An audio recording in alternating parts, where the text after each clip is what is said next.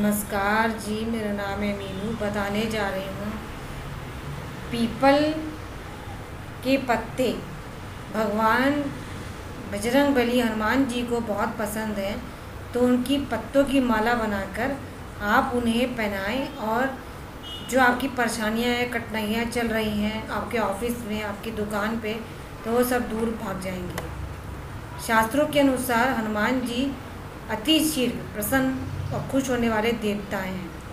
गोस्वामी तुलसीदास द्वारा रचित श्री रामचरित्र मानस के अनुसार माता सीता द्वारा पवन पुत्र हनुमान जी को अमरता का वरदान दिया गया है।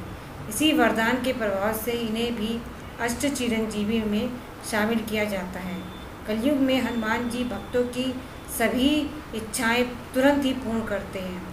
अगर इनकी श्रद्धा और विश्वास के साथ पूजा की जाए इन्हीं उपायों में से एक उपाय यहाँ बताया जा रहा है। इस उपाय को विधिवत किया जाए और विश्वास के साथ और श्रद्धा के साथ किया जाए तो बहुत जल्दी सकारात्मक फल में प्राप्त होते हैं। ये उपाय पीपल के पत्तों से किया जाता है। श्री राम के अनन्य भक्त हनुमान जी की कृपा प्राप्त होते ही भक्तों के सभी दुख दूर हो जाते हैं। पैसों से जुड़ी समस्याएँ, कठिनाइयाँ समाप्त हो जाती हैं।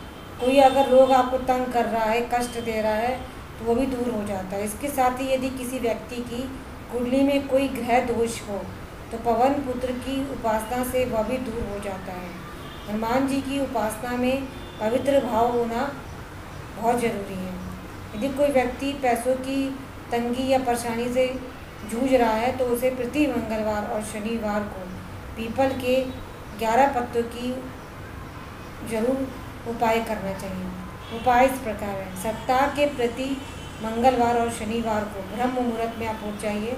इसके बाद नित्य क्रम से निर्वत होकर किसी पीपल के पेड़ से, जो आपके घर के मंदिर में लगा हुआ हो जहाँ यहाँ पे जहाँ पे शनि भगवान की पूजा की जाती है, वहाँ पे लगा रहता है बड़े बड़े पेड़ तो वहाँ से ग्यारह पत्ते तोड़ लें। ध्यान रख के पत्ते पूरे होने चाहिए।